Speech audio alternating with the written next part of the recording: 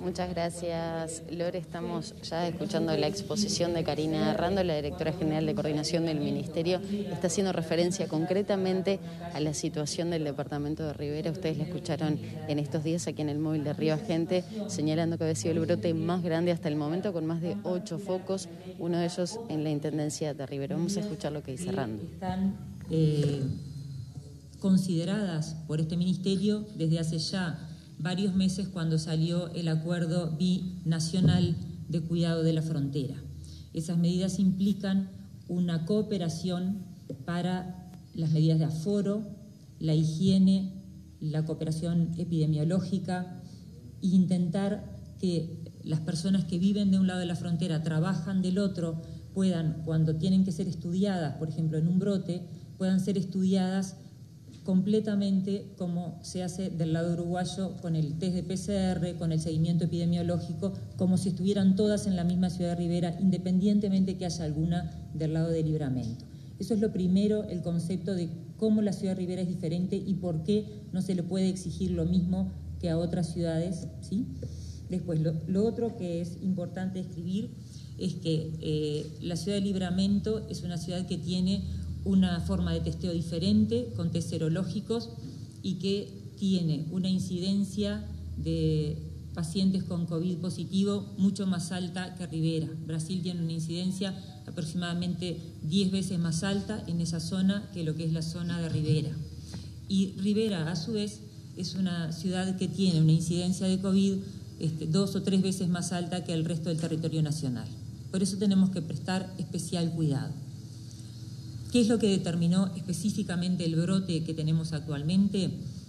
Las teorías más, eh, que más se ajustan a la realidad es que existió una conjunción de hechos eh, que probablemente eh, hay un día que probablemente haya sido este, uno de los días más importantes, que es el día 29 de agosto, en el cual Brasil, del lado de brasilero y con la potestad que tiene el gobierno brasilero para realizarlo, decidió liberar la entrada de ómnibus del resto de Brasil hacia la ciudad de Libramento. Eso es algo que lo decidió el gobierno brasilero y sobre el cual el gobierno uruguayo no tiene injerencia. Anteriormente, los ómnibus llegaban a 20 kilómetros de la frontera con Libramento. Por lo tanto, los comerciantes no llegaban hasta, la, hasta Rivera y hasta Libramento de la misma manera. Tenían mucha más dificultad y el comercio en esa área era mucho menor. El día que se libera la llegada de ómnibus, que es el 29 de agosto, hay una afluencia masiva de personas de diferentes áreas de Brasil, muchas de ellas cercanas, pero también vinieron personas de áreas más lejanas, como inclusive Río de Janeiro, a realizar compras que les resultan convenientes en el área de la frontera, principalmente a nivel de los free shops de Rivera. Esa afluencia masiva tuvo una conjunción con una situación climática desfavorable, que fue lluvia. El hecho de haber lluvias ese día implicó que la gente no estuviera al aire libre como uno recomienda y se aglomerara dentro de los locales de, comidas, de los restaurantes, de los comercios y de los propios free shops.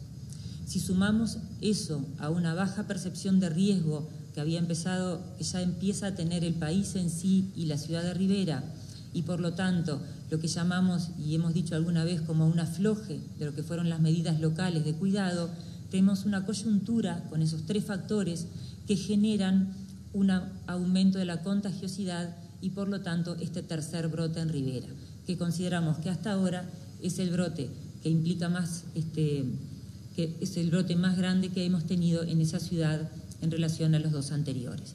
Esa es la situación actual de Rivera. La situación genérica es esa, pero este, tal vez interese cuál es la situación hoy. Hoy Rivera tiene 66 casos activos, como se anunció ayer, y tenemos, eh, se dijo, ocho brotes, que en realidad no son ocho brotes, son ocho focos dentro de ese gran brote. Este, la Intendencia Municipal es una de ellas, tenemos brotes en comercios, dos brotes en comercios, tenemos brotes intrafamiliares y hay un brote en este, un centro de actividad religiosa. Se dice que hay ocho brotes, en algún momento se pensó que habían diez brotes, habían dos pacientes más que podrían configurar un brote si aparecen casos relacionados a ese paciente y por lo tanto hubo una este, una discrepancia en algunos números, algunos decían 8, otros decían 10 brotes.